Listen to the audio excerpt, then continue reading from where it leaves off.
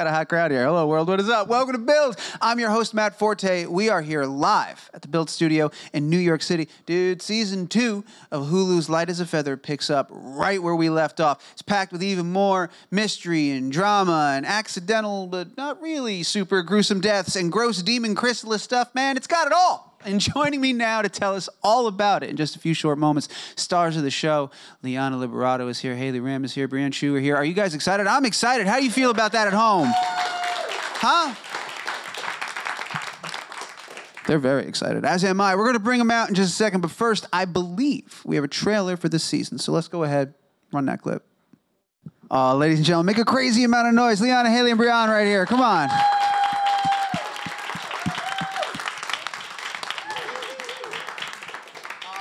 Congratulations. Season two is so good. Thank you. You're very welcome. I know I, I, I caused a little friction in the green room. I've gotten a chance to see some of the episodes. What the heck? Seen more than us. So sorry for that. I guess we filmed it, so it's yeah, you guys lived it, It's right? fine. Yeah, you were true. there.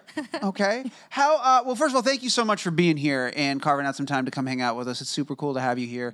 Uh, how how long ago did you guys just wrap this up? Has it been? like Uh, a like- week and a half ago. That's a funny maybe question. Maybe more, like maybe Two two and a weeks? half. How did I see finished stuff? That's so fast. We That's wrapped- amazing. July Oh, 2nd. Yeah, we wrapped July second, but you saw the first three, Yeah, I right? saw the first three, exactly. So we were shooting sixteen instead of the ten that we had first season. Got So it. It was yeah, it was a long way to go. Kind of felt like two seasons in one, really. Yeah, and it kind of is like that with our release. So The That's pretty amazing. Oh, October. it's so funny because usually when I get people together, like I get a cast together, it's like, oh, it's a fun reunion. You guys were just hanging out. Oh yeah. and we see each other all the time. We hang out every Yeah. day. We live very close. We're always in a group text.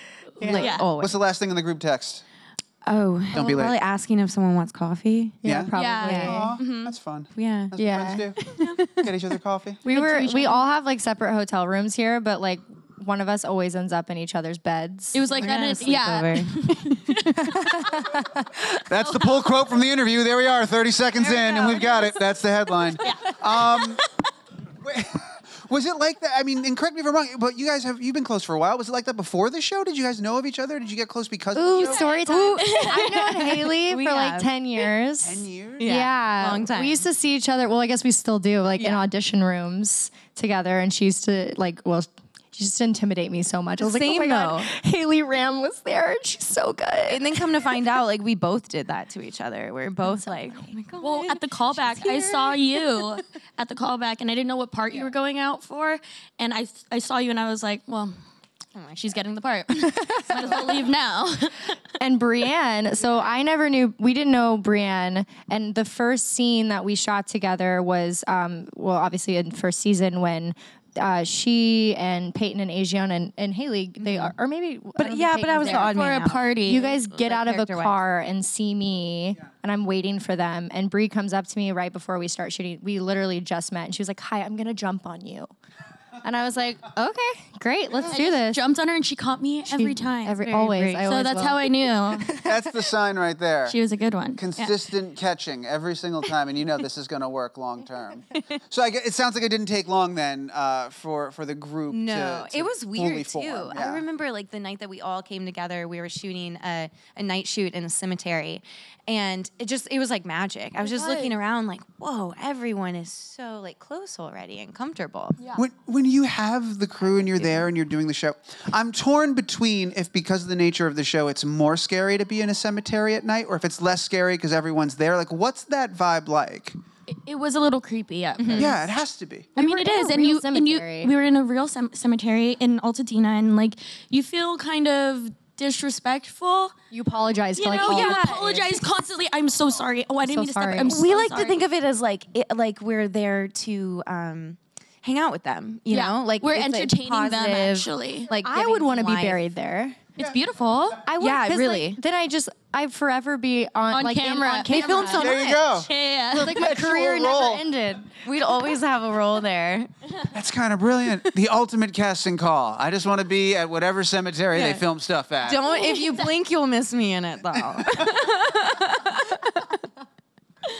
That is pretty amazing. Um, Well, that's really exciting and fun to hear, and that's always a fun thing too. And uh, when you find out there's so much like camaraderie behind the scenes, I think there would need to be on a show like this. I think it this too. Yeah. translates a lot on hundred screen. percent. Yeah, you can tell that you guys are very close and like you're having a good time doing what you're doing, even in the darker scenes. It definitely is needed too. I mean, yeah, like we are dealing with a lot of dark stuff. We shoot at very late hours sometimes, and that would suck if like you didn't get along or something. Yeah, but like the good that we have off screen awkward. lends itself to the darker moments on screen because it's emotional, you Yeah. know, and it's it's easier to be emotional and like when you feel safe and comfortable Yeah. with the people you're working with. you have a great support structure within each other to do like this really challenging stuff. Absolutely. Was that something you were nervous about coming into the show? Because there is some challenging stuff in this show. Like you guys get really dark, you tackle some really intense moments. Ha- What do, what do you do to not bring that home with you after you're done doing a long day?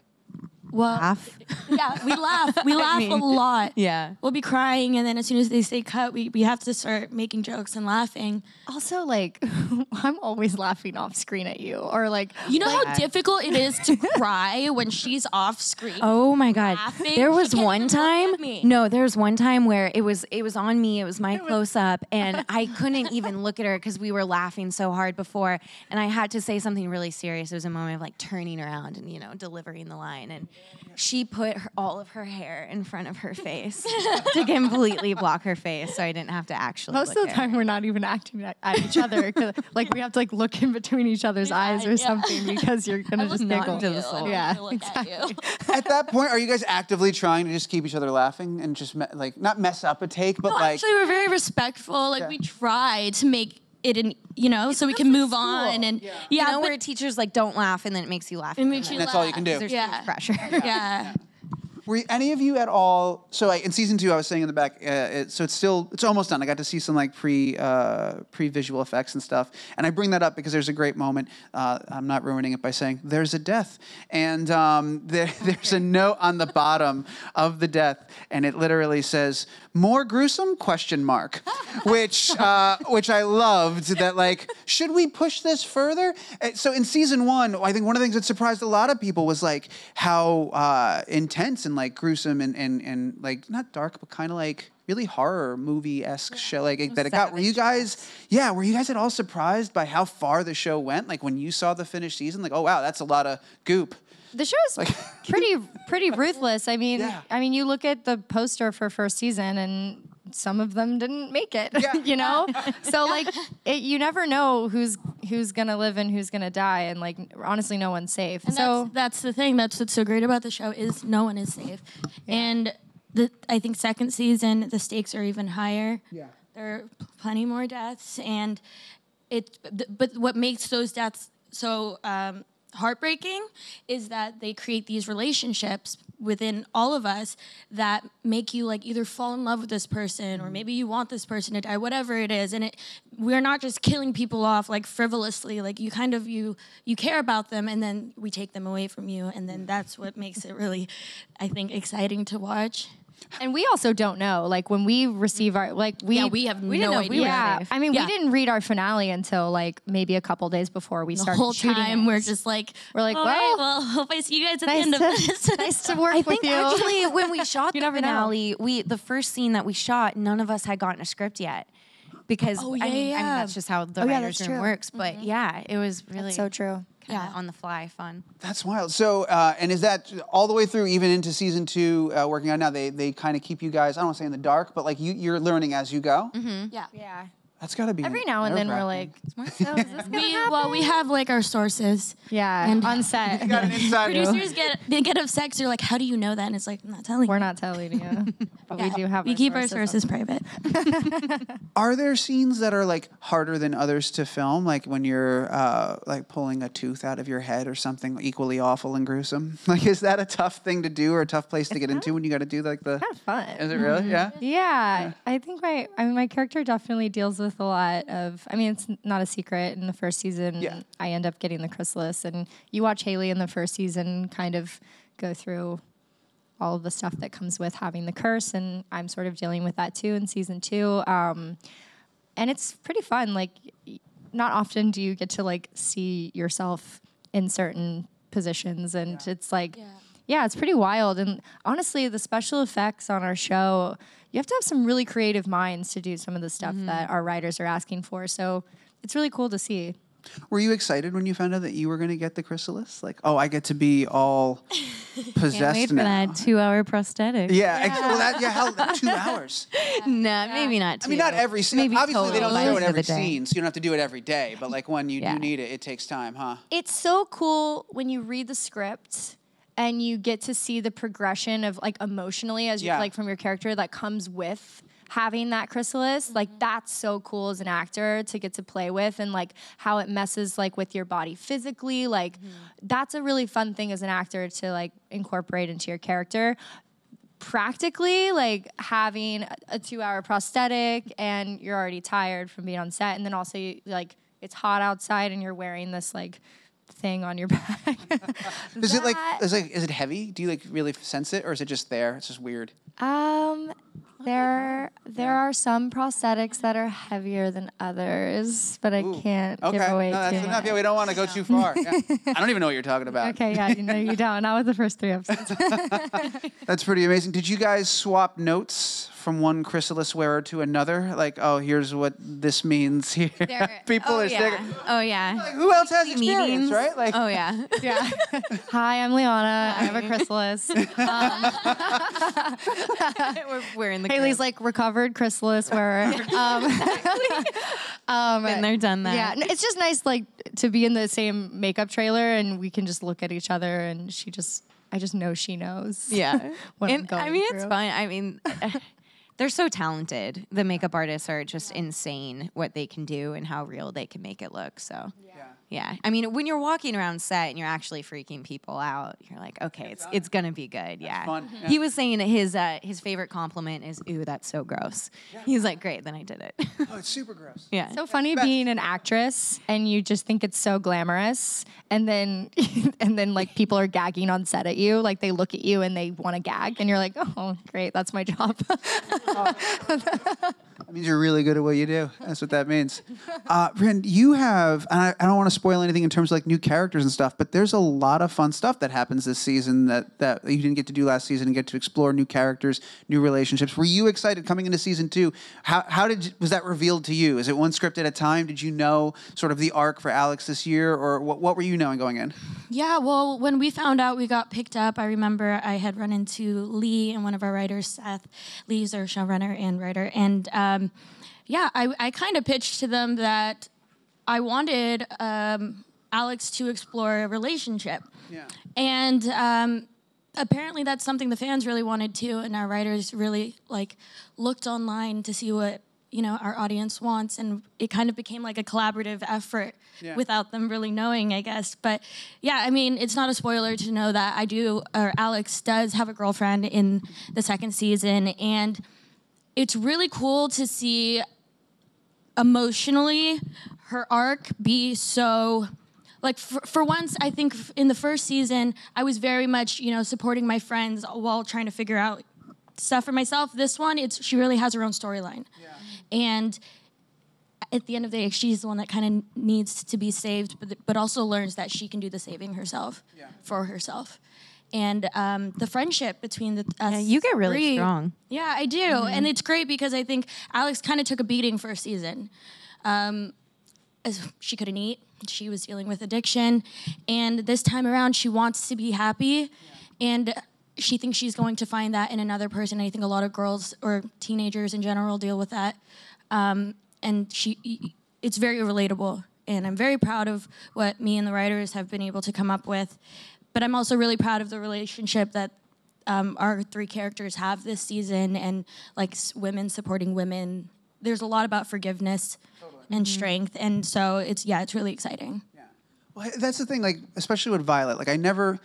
It's really easy for for Violet to get written off as like a bad person, but you see tons of times that Violet isn't, and Violet's been like forced into some terrible circumstances, and we start to see a lot of that. How do you ride that line? How do you play it when Violet needs to be mean, when Violet needs to be bad? How do you go far without being Right. evil? Like how do you get there? And I, I was thinking about that in the beginning too. Is she really evil or is it circumstance? And I think it's the circumstances that she's had to deal with. She didn't ask for any of this, and she handles it wrong. I think. I mean, she, you know, she she uses her manipulation to save herself. And um, if you watch the first season, uh, the reason why she's still alive is is pretty dramatic. It's it's for someone else. It's for her her lover. That's why. Um, I mean, he he pretty much sacrificed himself. So I think that her life is it has so much more meaning because she needs to live life for him.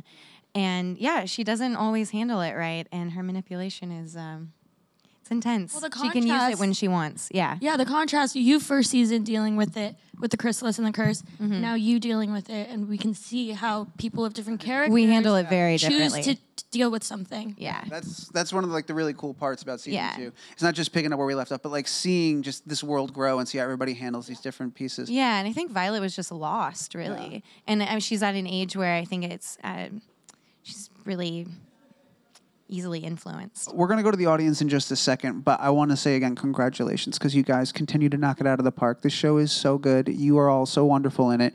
Uh, I want to ask you, this is a real fun question. How, in terms of like, were you guys skeptics before this show? Do you bel like, what is working on this show done for your belief of the paranormal and the funky and weird stuff that could or could not be I'm out so there? superstitious. Are you superstitious? I'm yeah. so superstitious. Before we walk into the cemetery, and I've told them this, so it's not like weird, but like I ask for permission and like forgiveness Yeah. before we walk on, just because I'm like, you don't know what you're dealing with. So it's a consider really respectful thing Just to do. right? respectful. Yeah. exactly. That's what I think. But I'm superstitious. I don't know about you. right guys. before um, like as we were filming our season one finale there's a moment where i think you you like shove an unconscious um, alex like into a room or Oh, something yeah, yeah, yeah. and we were opening that door in the mausoleum that we were filming in and there was a black butterflies or like a thing on the show and there was a random black butterfly, Butterfly. like flying around Yeah. in that room that we were There's some weird in. stuff like that too. Like Violet's house, we film off of a street called Mariposa, which is butterfly in Spanish. So yeah. Hang on, I have a really important butterfly follow up because in uh, some of the episodes I watched, the butterflies needed to be added. Like they still weren't there yet. It would tell me butterflies coming. I knew what that meant. Do you did the random black butterfly? Did you guys have them on set like another day, or they no? were this not in just was season. there. We couldn't get them. so the fact that one is just flying That's creepy. around. Come on, that's crazy. Yeah, Yeah, that's and so it, what does it mean? I think it's a symbol for grief or something.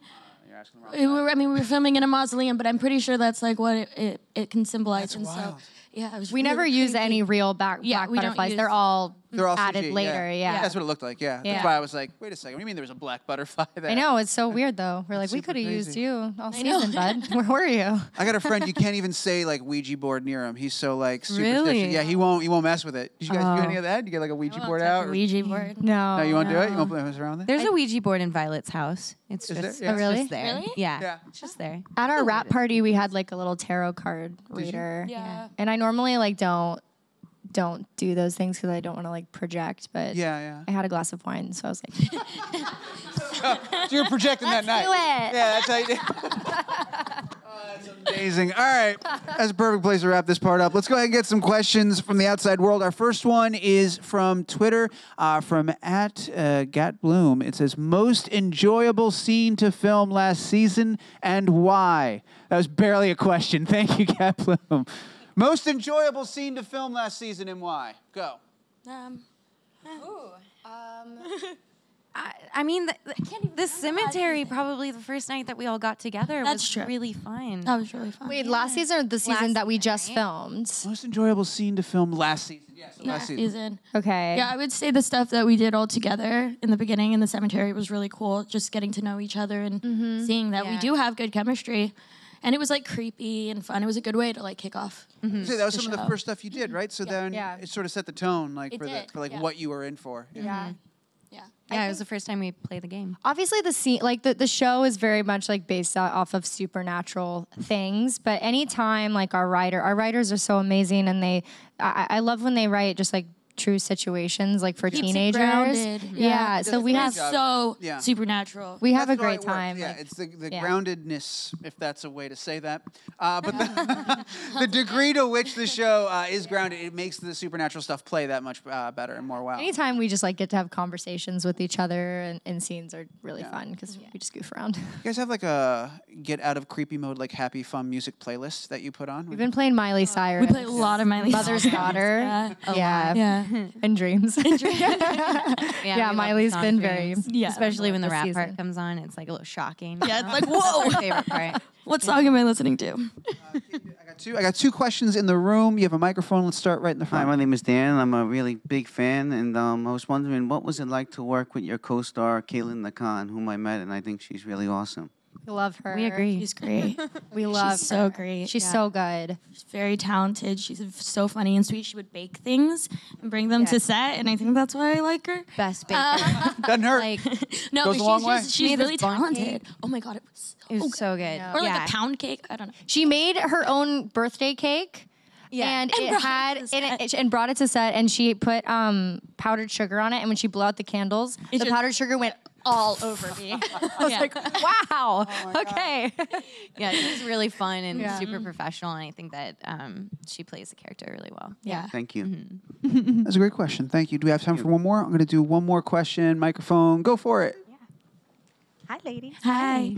First of all, I have to say Alex is my favorite character. Oh, that means so much to me. Thank you. um, but I want to say, um, uh, which one of the deaths from the first season, the ones that were predicted, was the creepiest one that you guys really cried? For me, I don't know if it was the creepiest, but it was the I felt it the most. It was like the most emotional, and I and and drowning is very Yeah. scary and creepy in itself. But A- Ajiona's death, Candace, was really was hard. It's interesting because when I when I watched the show, I Peyton's death, like her the tears going down her That's face, true. like that was mm-hmm. cra- like so gnarly, and I really felt that one. Oh, and the But- lights hitting her face. yeah, oh, yeah, that, that was. But filming the scene, Adriana's death, was really heartbreaking. like we had were to really jump in the pool and like drag her out, and and that was yeah, it that's gives like me my chills favorite. just thinking about it because it is. It was. We did a lot of it. that's my favorite episode of the first season. Yeah. We knew how upset the audience was going to be because she makes it to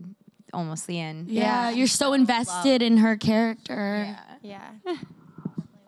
Another great question. Thank you so much. Uh, I got to wrap things up. We're just about out of time, but I will remind everybody out there uh, July 26th on Hulu, season two, Light as a Feather. Uh, if you haven't watched season one yet, that's on Hulu as well. So go ahead. You got plenty of time. Catch up. It flies by. It's so good. Uh, and you'll be all ready for season two on July 26th. Uh, everybody, thank you for being a great audience. Thank you out there for your great questions from Twitter. And a huge, massive thank you. I'm going to need your help on this one. Everybody make some noise and join me in thanking uh, Liana Liberato for being here, Haley Ramm, and, and Brianne Tju as well. Guys, I, I, I- thank, you so much. Thank, you. Thank you.